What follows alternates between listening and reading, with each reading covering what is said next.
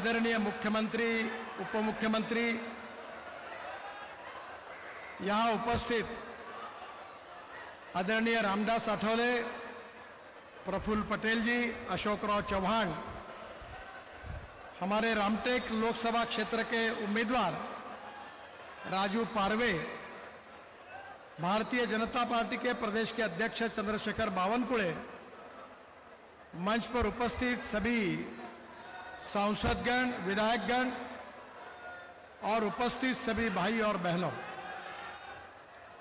सबसे पहले आज मैं नागपुर ज़िले में आदरणीय प्रधानमंत्री मोदी जी का मनपूर्वक स्वागत करता हूँ। उनको बहुत बहुत धन्यवाद देता हूँ। और उनको ये विश्वास दिलाता हूँ कि हमारी विदर्भ की जनता उनके नेतृत्व में विदर्भ की पूरी सीटें 10 की 10 लोकसभा की सीटें हमारे पक्ष में रहेगी और हम विजयी होंगे, ये भी विश्वास उनको देता हूँ। आप सबको पता है कि आप पूरा विदर्भ का विकास कैसा हुआ राम नागपुर ज़िले का कैसा हुआ और नागपुर शहर का कैसा हुआ, यह आपने देखा है। आदरणीय मोदी जी ने हमारी मेट्रो का भूमि पूजन किया था। उसके बारे में मेट्रो हमारी कनान नदी तक आने वाली थी। अब यह निर्णय हुआ है कि कनान नदी पर मेट्रो पुल बनाएगी और कन्हान गाँव तक मेट्रो आएगी, इसका निर्णय हुआ।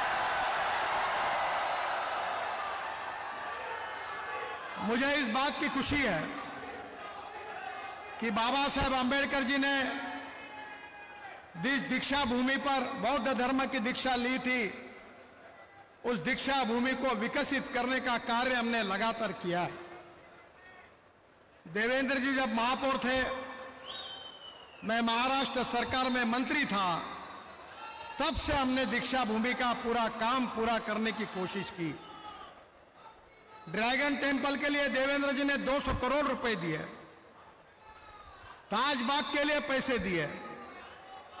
परमात्मा एक सेवक समाज के लिए हमारे जो आदरणीय बाबा है श्रद्धेव जी, उसके लिए परमात्मा एक आश्रम के लिए हमारे शेखनाथ शिंदे जी और देवेंद्र जी ने 77 करोड़ रुपए उनके लिए दिए। कोई भी निर्णय हमारी सरकार में जात के आधार पर, पंथ के आधार पर, धर्म के आधार पर नहीं होता। प्रधानमंत्री ने उज्ज्वला योजना की शुरुआत की। क्या कभी उसमें कोई जातिवाद हुआ? हिंदू, मुसलमान कोई भी हो, दलित हो, आदिवासी हो, सबको उसका फ़ायदा मिला। आयुष्य योजना में कोई हमने जातिवाद किया? सबका साथ, सबका विकास और सबका प्रयास, इसी तत्व को लेकर हमने कार्य किया है। साठ साल में जो कांग्रेस नहीं कर सकी, वो दस साल में मोदी जी के नेतृत्व में हिंदुस्तान की तस्वीर बदली है। हिंदुस्तान को समृद्ध, संपन्न, शक्तिशाली, विश्व की शक्ति बनाने का संकल्प मोदी जी ने किया है। आत्मनिर्भर भारत करने की बात कही है और दुनिया की तीसरी बड़ी अर्थव्यवस्था बनाने का संकल्प किया है। बहना और भाइयों, जो कांग्रेस 60 साल नहीं कर सकी, वो 10 साल में हमारे सरकार ने करके दिखाया, जिसका अनुभव आप सब लोग लेते हैं। उस कामों के बारे में बोलने की आवश्यकता नहीं है। नागपुर जिला हो, विदर्भ हो, नागपुर शहर हो हमारे किए हुए काम आपके सामने है।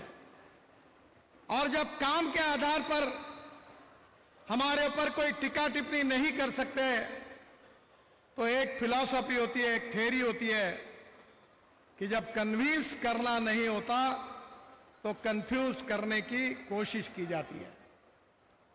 कांग्रेस के नेता एक ही प्रचार कर रहे हैं कि 400 सीटें मिलेगी तो हम भारत का संविधान बदल देंगे।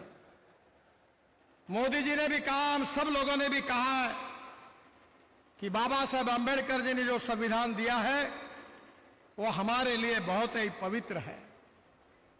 वास्तविक रूप से केशवानंद भारती केस में जब सुप्रीम कोर्ट में केस दायर हुई थी, तब सुप्रीम कोर्ट के सात जजेस ने, बेंच ने यह निर्णय दिया है कि silent features of the constitution cannot be change जो हमारे संविधान के मूलभूत तत्व है, वो बदल नहीं सकते, ये बात सुप्रीम कोर्ट ने कही है। और मैं आप कांग्रेस वालों को यह पूछना चाहता हूँ कि आज तक संविधान को तोड़ने का पाप किसने किया है?